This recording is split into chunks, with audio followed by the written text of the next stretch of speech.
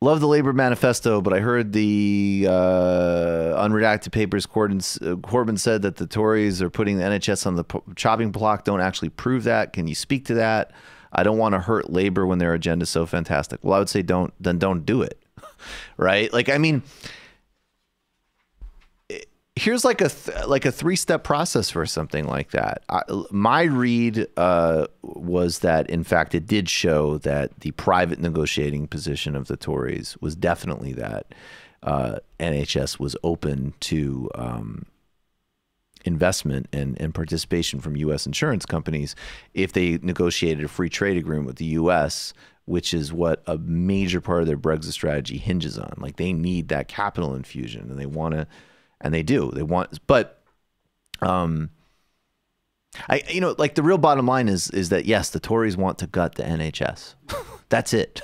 Yeah. Don't get worried American and all this pedantic not like people can you know like well actually like this is why I get so frustrated with well actually stuff. There are times where you need precision, where you need to make be able to make a distinction and no one and so on, but the Tories want to gut and have already massively destroyed the UK social safety system, have caused thou- have caused a huge increase in poverty. People have died, and they have wanted to get rid of the NHS forever. And they already have messed with it significantly, including, of course, the Lib Dems and the right wing of Labor.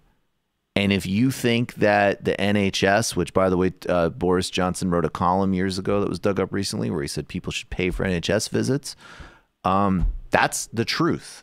You know, don't let the the silly little quibbles distract from it. If you care about the NHS, you vote Labor. That's it. Everything else is silly. Um, I mean, just uh, I don't yeah. know much specifically about these documents, yeah. but I can say that it looks like the Daily Telegraph is saying that Corbyn was tricked by fake documents, but the Daily Telegraph previously had run a story based on the exact same documents. So who knows? It's probably just some bullshit. Look, maybe look, even if it's a rat fuck, maybe they it points to truth. It's the truth. Under Lib Dems and Tories, the NHS will be destroyed. You don't want you want to protect the NHS, you vote Labor. Everything else is irrelevant. All right, let's actually play some sound. This is Jeremy Corbyn. And one of the things that's so incredible about the demonization and the just relentless lies, distortion, and propaganda about Jeremy Corbyn is that he really just has this elemental decency about him. And I think, you know, I think some people, you know, like Martin Amis doesn't like that Jeremy Corbyn's a vegetarian and he doesn't have an ironic sense of humor. Yeah, I don't like know. that Martin Amis who is cares? five foot three. Right, exactly. I mean, that, you know, who, but that's, you know, but when it is all said and done, you have a decent person who has dedicated the their life to improving the lot of the majority, not just in his home country but everywhere, who has basic principles which any person with any basic decency would share. And it is a testament to media monopoly propaganda uh, and and social herd force that this guy would be unpopular or that he doesn't have the temperament to be prime minister. I mean, this is actually exactly the temperament that you want to encourage in executive positions. Here he is on uh, ITV this morning talking about his views of public service. Are you just exhausted with all of this? No. I, you must be. I mean, everybody's exhausted this time of year. It's coming up to Christmas. There's so much more to do anyway. And yet you're mm-hmm. doing this day in, day out. Aren't you just like, don't you just want to sit back and put your feet up and go, is it all worth it? No, not a, not a bit of it. Why? You get up each day and you go out and you do what you believe in. You do your campaigning. Is you there as much pride in the job? Because sometimes I think, God, for a politician, is there as much pride in your job? I've represented my constituency since 1983, and I love the people I represent. I know many, many very, very well, of course, and know their families and so on. It feels like home and family. Mm. And I believe in public service, I believe in representing people, and I passionately believe in a country where we don't have homeless people, where we mm. don't have food banks, where we don't have four million children going to school hungry or poor or unable to achieve their best in life. And I want to bring about a fairer, more just, more equal society. That's what I've spent my whole life doing. Yeah. And this, I travel all around the country meeting people. Last night I was talking to a group of homeless people in Hastings, but also talking to people who are wanting to expand their work and their businesses. The two things actually go together. Mm. And so those the wisdom that's there amongst people all over the country is something that absolutely inspires me. You should vote for some blubbering trust fund baby sociopath who was a right wing media columnist over that. I mean, I honestly, like, let me pull a Trump here. Like, how stupid are you people?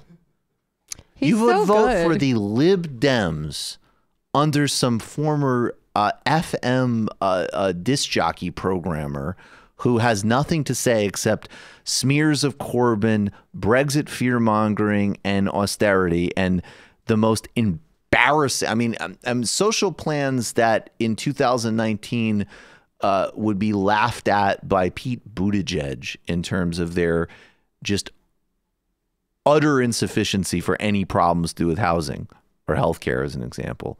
And then you have that guy, and he's not he's not leading in a landslide. If you're not voting for Jeremy Corbyn, you are either an oligarch, in which case respect, you're the enemy, or you're uh, a sucker of the highest degree. Uh, that meme, I forget who first shared it. I wish I could remember. It's definitely not me, but there's the meme of the guy who's like, you know, he's there at the stadium and the NBA players are walking out. I don't remember which team, and he's got his hand up and they're all just ignoring him. You're that guy. You're the ultimate self cuck. Not voting for Jeremy Corbyn unless you're an oligarch is so stupid. So stupid. Are you blaming the electorate, Michael? That's my version of blaming the electorate. Yep. It's one thing if the electorate says, I don't like the choices, you know, legitimately. But you've got a choice here that's really positive from the perspective of anybody who's not an oligarch. And the only reason you wouldn't see it as positive, and look, to be fair, there's there's even worse uh, media monopoly in the UK. So you've been totally propagandized but you have an opportunity. And even people like I, I, admired some of the things that Nicola Sturgeon has said, and I have some respect for the SNP uh, position. Although I would I would vote Labor wherever I could in the UK. Period. But I mean, even her, who's supposed to be, who has some good social democratic credentials, who hacked into Cameron well, is still talking about Corbyn and Johnson as if they even represent you know, anywhere within the realm of the same threat level. Like this buffoonish thug versus a decent social democrat who has been on the right side of basically everything. Well, he has to break through decades worth of messaging that people have received that labor's not doing anything for them They've heard it all before. You know, if you haven't been paying close attention to his career, to his ideology, whatever, whatever, it sounds like the same stuff that people have told you before when they were lying. In this case, it's the no. I think in this case, it's so the right. Like, it's the right wing lies about him in this case because it's very clear. I mean, they understand that he's different than a Tony Blair. And Blair, you know, look, Blair and Brown played a super different game. They made they actually were even more effective than a lot of Democrats here too, because what they did is they just made narrowly tailored promises and kept them. But I, I the problem in the UK, I don't think is lack of belief in the agenda. It is total belief in the absolute slander that is pumped out about him on a daily basis, which runs contrary to just like his very presence. I mean, e- even the New Statesman won't uh, endorse Corbyn, and everybody cancel your if you're yeah, a sub, cancel, cancel new, new, Statesman and let them know about oh, it. absolutely. Yes, yes. I, I'm just thinking back to the video I saw that Novara Media did, where they were interviewing working class, lots of people of color yeah. in different parts of the country, and some of them were like.